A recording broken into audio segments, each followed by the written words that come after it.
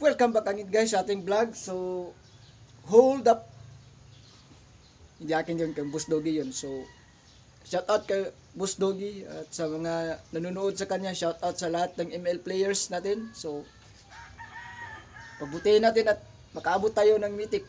So, so yun nga guys, sa ating vlog ngayon ay pupunta tayo ng Manolo Portage para bumili ng bagong isda. So, siguro bibili tayo ng molis, tapos gapi, yun. Ilalagay natin sa bago nating pan na ginawa. So, tara, samahan niyo ako at lilipad tayo ng Manolo Market.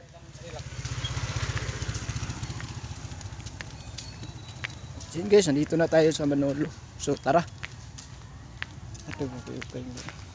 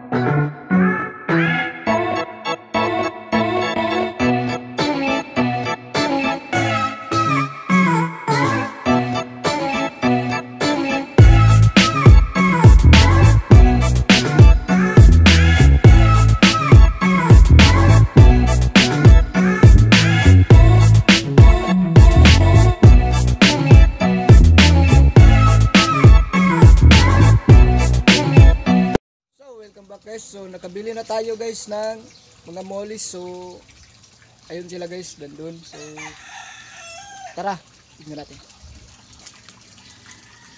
So, ito sila guys. Uh, yeah. Tada! So, ilagay natin sila dun sa likod. Tara.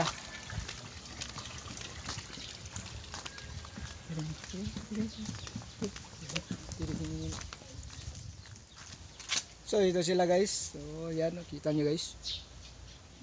Naka-auto focus. Hanap tayo yung spot. So yan guys. Ah.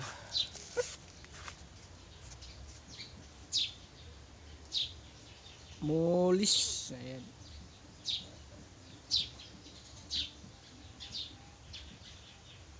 Black mollies yan guys. Tapos itong isa naman yung mix yan ng 2040 at 2040 uh, yung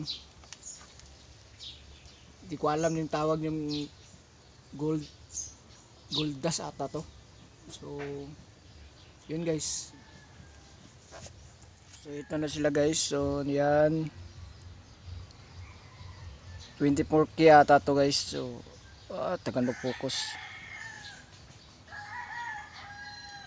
focus. Ah. so ito na sila guys. Ayan kita nyo guys. So ilalagay natin sila dito. Pero kukunin ko lang din sila. Ito guys. Yan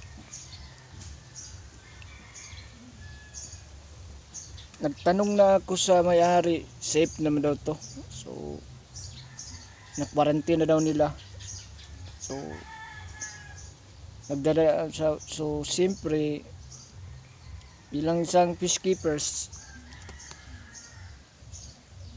alam natin na hindi safe ang mga isda na binibenta nila. So tayo naman aayusin natin yan. So gagamitin natin yung metitilene blue. So guys, Tingnan natin yan. Tapos, dyan sa aquarium, lalagay natin. So, ika-quarantine muna natin sila ng one day. Tapos, one day to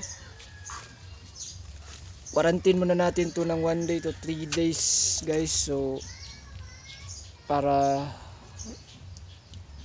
sigurado tayong walang sakit. Di kasi natin mata mata-trusted yung nagbebenta. So, quarantine. So, yun lang guys. So, i-quarantine nyo muna yung mga binili nyo na isda. So,